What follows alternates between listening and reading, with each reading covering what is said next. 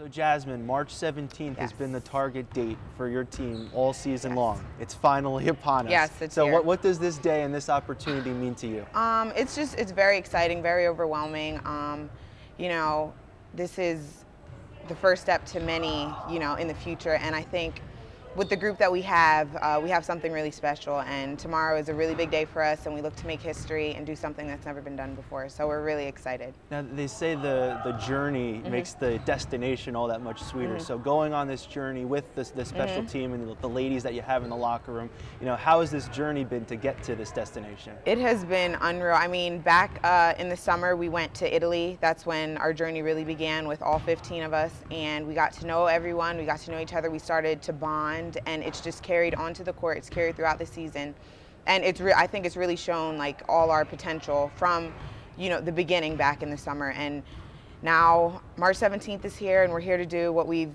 planned on since the summertime. And at that point in time, it was just you know a vision, and now it's actually here. So it's it's been amazing. I wouldn't trade anything or any of my teammates. Now, now, coach was telling me that it was around that time when you went over to Italy that Mm-hmm. she introduced the, the way that you guys going to play, where everybody Mm-hmm. contributes.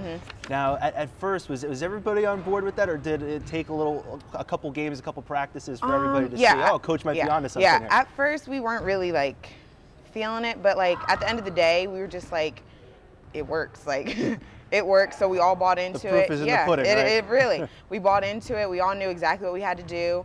You know, we in Italy we did the five and five out, and we were like, oh, this might just be because we're in Italy and everyone's playing. But then games started, and we actually started doing that. And we were like, whoa, what is this? But it, I mean, it works, and it's, I mean, it's great. You know, go in, go hard for three minutes, and then the next five are in. So it's it's been great. Now, speaking about going hard, in, Mm. in the two games where your team has had the most at stake this year, the Mm-hmm. regular season title clincher at Sacred Heart, and then the semifinal here on Wednesday against Mount St. Mary's, it's been you kind of leading the way, Mm-hmm. putting the team on your shoulders, and coming through when your team needs the, the big basket. So, you know, how, how are you able to, to come through and, and, and perform like that in those kind of situations? Um, I just feel like you know, my team can trust me um, in certain situations like that, and you know, I feel like they're there for me, so I have to be there for them, and I just, I mean, the game's on the line. I'm sorry, I'm not trying to lose, so I'll do whatever it takes to, you know, get that get that win. So. Now, for this championship game against St. Francis, Mm-hmm. you played them twice during the regular season. What are some challenges that they present? Um, Allie Williams is definitely she's going to be a challenge, but I think if we can,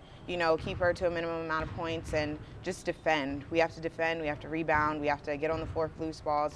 We have to determine the outcome of this game. We can't let them come in here and try and speed us up and make us go crazy. We just have to do what we've been doing for the past six months and. After those 40 minutes, hopefully we'll be cutting down the net. So Uh, I wanted to talk about that Mm-hmm. for a second because I was at the regular season title clincher. After the game, it was just handshakes, business Mm-hmm. as usual. I was here Wednesday. Maybe there was a hug in there somewhere, but it was mostly handshakes. Mm-hmm. Yeah. So, are you guys waiting to burst, burst loose for the for this champ? Can we see more than handshakes on Um, you Sunday, will perhaps? see. Yeah. The thing is, um, like, all those things that we've gotten so far are great, but that's not what we want. That's not our ultimate goal. We want a championship. We getting the regular season title and clinching this or that, like, that's great, but tomorrow is what what it's about. I will be balling. I will like we I just want to win so bad. We all want it so bad. I'm really excited for tomorrow. Like very excited. I hope everyone storms the court. I've never had that experience. Like growing up, I've always seen it. Like you can see on that wall back there, like all those people. I've never experienced a stadium that's like filled with people. So I'm like really excited for tomorrow and what it'll bring. So. Well, we're excited for it as well. thank Should be a packed Thank house, you. and, Yes. and best of luck to you. Thank you very much.